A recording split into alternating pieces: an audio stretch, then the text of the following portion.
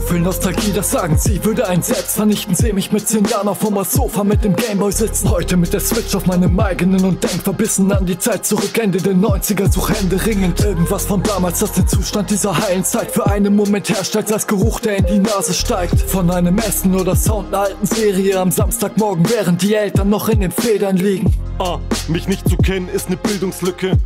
Daher wird es Zeit, dass ich nen Blick zurückwerf. 1992, das Wunderkind erblickt die Welt Das hätte ein Arzt nicht gedacht, Kumpel bitte fick dich selbst. War vor Leuten ein stilles Kind, heute nicht mehr. Auf ein Wort Deutschland, ich bin der King.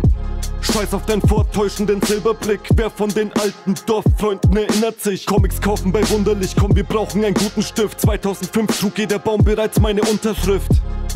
Wir spielten bescheuert Klingelstreiche. Eine tiefe Bedeutung sicher keine Apes Odyssee mit meinem Bruder zocken.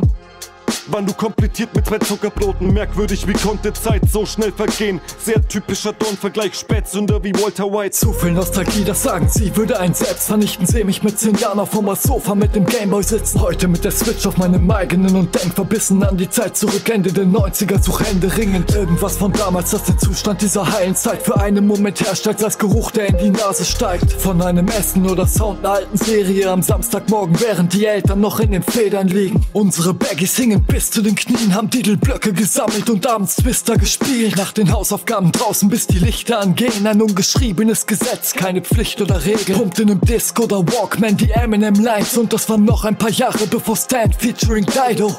Sind alle abgegangen auf Robert Miles. Und um ehrlich zu sein, ist Children heute noch der Scheiß. Seh mich damals mit meinem Bruder und paar Gulden am Warten. In der Spielhalle in Holland vorm Arcade-Automaten. Danach Kartfahren, Langnese, Super Mario Eis. In diesem Urlaub lernte ich Fahrradfahren, war gar nicht so leicht. Jeder Tag war gefühlt endlos lang zu der Zeit. Im Vergleich rennen sie heute Avanti vorbei. Zock heute immer noch TCGs aus der Ära, um leise alten Freunden damit Ehre zu erweisen. Zu viel Nostalgie, das sagen sie, würde ein selbst vernichten. Seh mich mit 10 Jahren auf dem Sofa mit dem Gameboy sitzen. Heute mit der Switch auf meinem eigenen und denk verbissen an die Zeit zurück zurück, Ende der 90er, such Hände ringend. Irgendwas von damals, das den Zustand dieser heilen Zeit für einen Moment herstellt, als Geruch, der in die Nase steigt. Von einem Essen oder Sound einer alten Serie am Samstagmorgen, während die Eltern noch in den Federn liegen.